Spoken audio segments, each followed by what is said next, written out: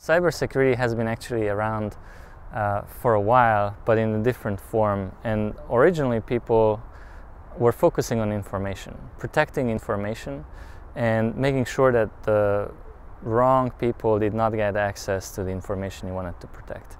And it got transformed to cybersecurity more recently, uh, and actually, the, the quote unquote hacker community doesn't even recognize that word. So if you if you go amongst hackers, black hat, and you use the word cybersecurity, they wouldn't even um, accept. They, they would think that you're you're not part of them because they will recognize info security, information security as the real um, like concept, which has been around from actually way before electronics, electronic computers. So uh, even in, in, in, World War II, the Enigma machine and, and, uh, and other ciphers that existed uh, even begin uh, before the time of, of computers.